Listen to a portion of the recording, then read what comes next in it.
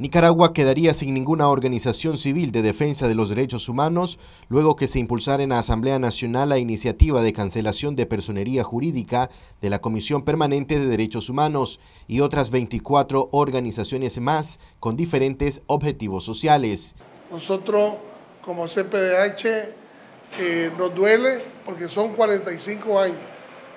Hemos visto pasar diferentes gobiernos de turno, de izquierda, de derecha, de centro, y siempre ha sido nuestro rol que se respete las leyes, que se respete la constitución, en donde todos los nicaragüenses seamos iguales, como dice la ley, todos los nicaragüenses sin distingo de colores políticos nos veamos.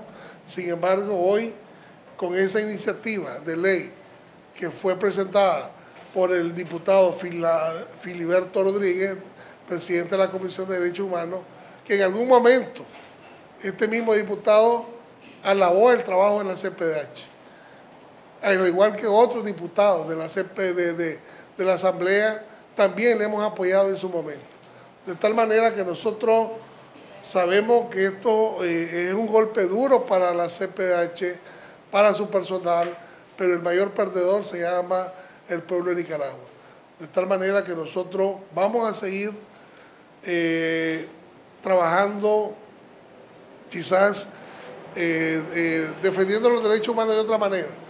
Pero como le digo, cuando hay vocación y voluntad de apoyar al prójimo, buscaremos los mecanismos necesarios para seguir trabajando por los nicaragüenses.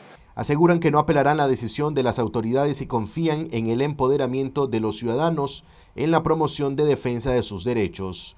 Ya la Junta Electiva ha acordado de que no va a hacer uso de ningún recurso porque en el pasado los recursos que se presentaron a la Corte Suprema de Justicia están engavetados y no son resueltos.